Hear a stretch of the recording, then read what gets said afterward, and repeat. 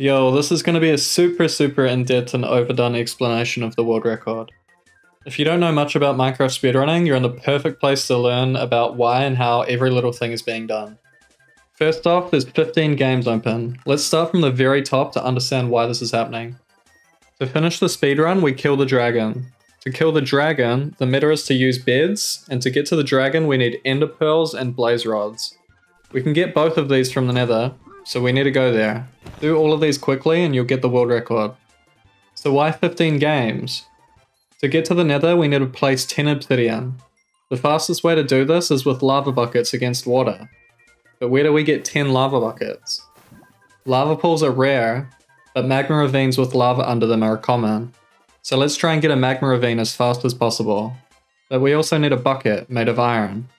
The fastest way to get iron in an ocean is from a shipwreck or a buried treasure.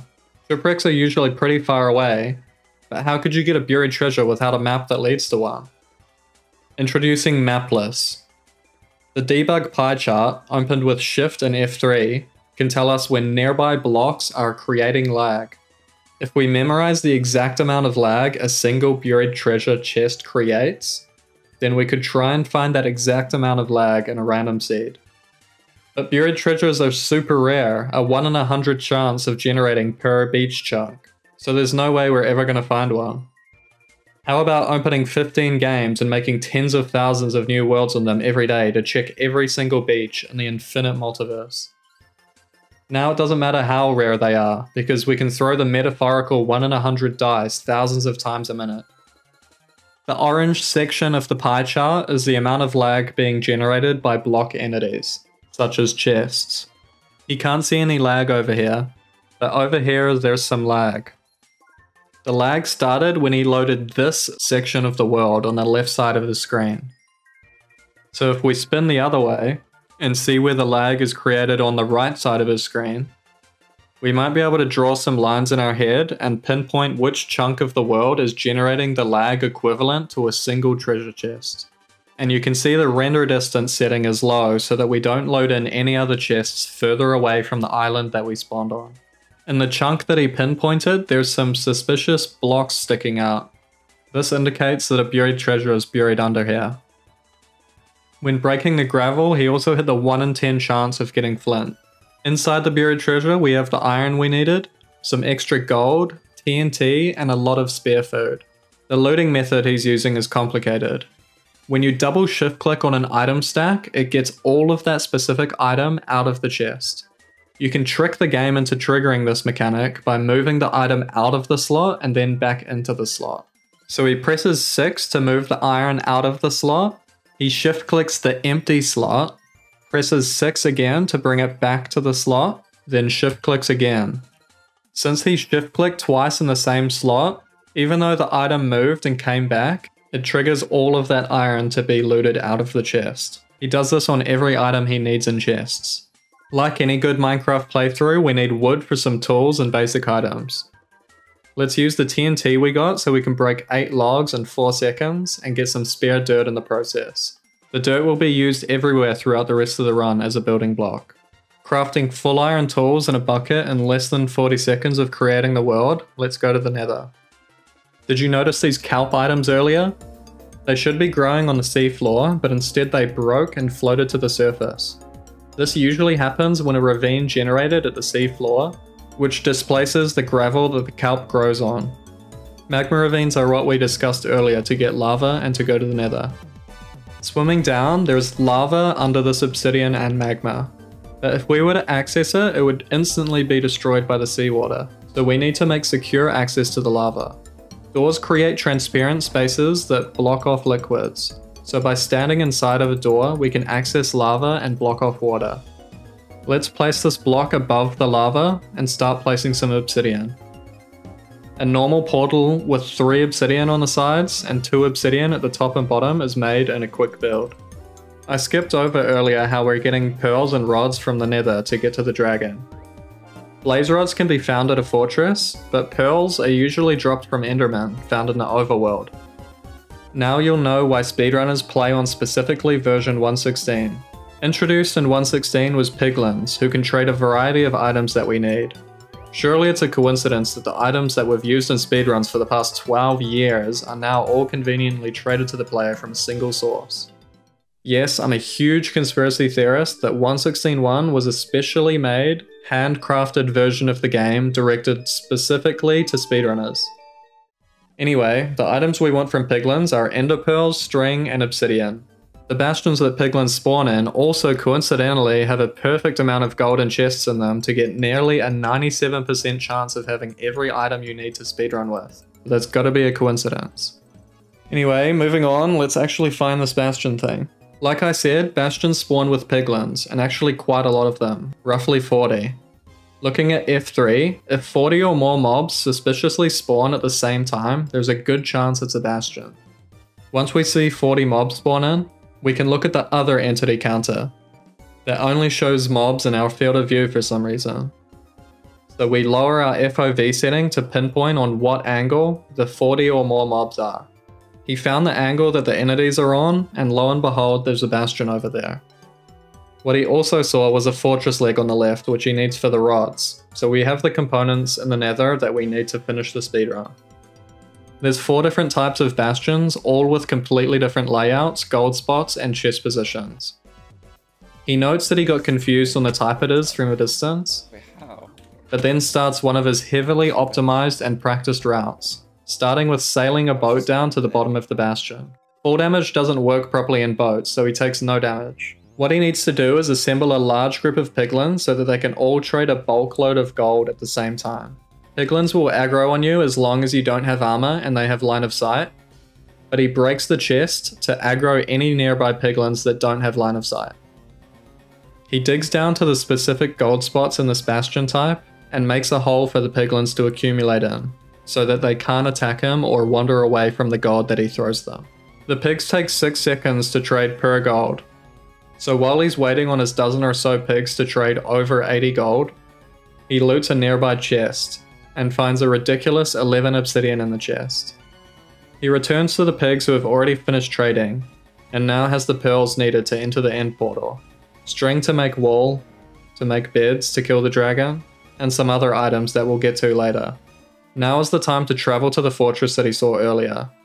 Throwing pearls is considerably faster than running, but costs health, which is healed by the food he got from the buried treasure. With a stone axe or above, most mobs die to a critical hit and a normal hit. It is slightly faster to kill mobs with an iron sword, but the knockback caused by hitting a mob three times with a sword often results in time loss. So he's at a blaze spawner. He got fire resistance potions from the piglins, so now he can't take fireball damage. Blazes drop rods 50% of the time, and he needs around 6 rods to enter the end. Spawners always spawn 4 blazes, but usually you only get to see one or two of them per spawn. The reason you don't always get 4 blazes is that the blocks surrounding the spawner cancel the spawns. So he breaks the majority of the blocks around the spawner with TNT that he had earlier, also protecting the spawner itself from the explosion. So now the spawner should almost always spawn 4 blazes, resulting in less time waiting for spawns.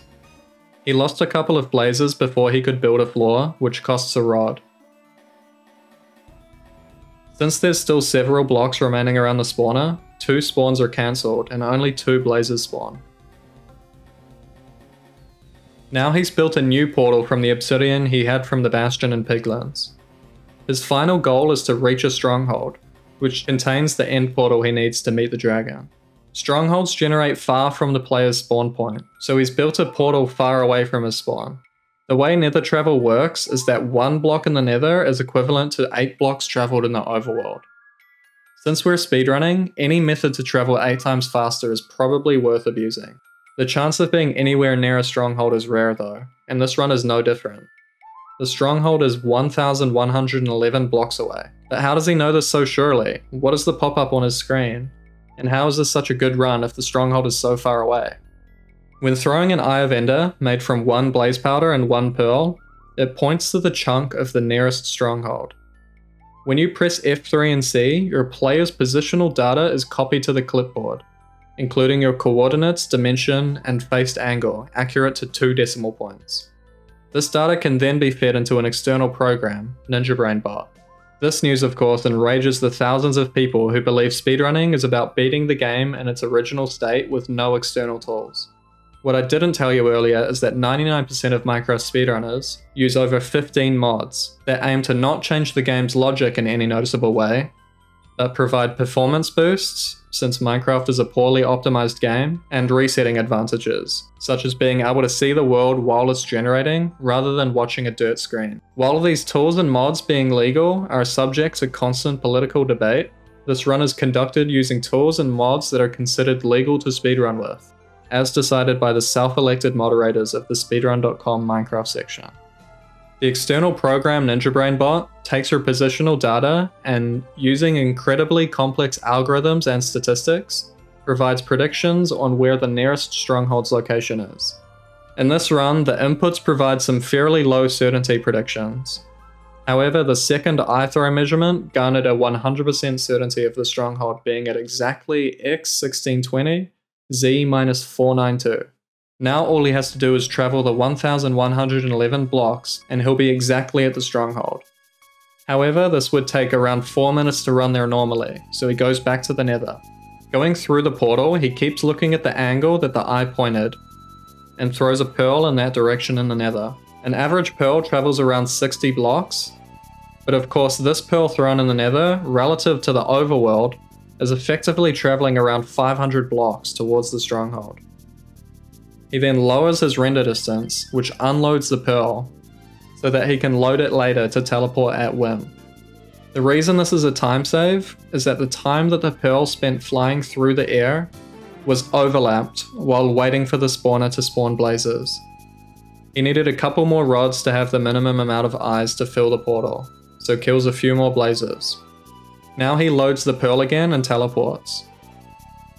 One more good pearl in the direction of the stronghold, and now he's only 10 blocks away from the stronghold in a matter of seconds. Building the portal at the exact coordinates in the nether that relate to the stronghold coordinates in the overworld put him perfectly in the stronghold.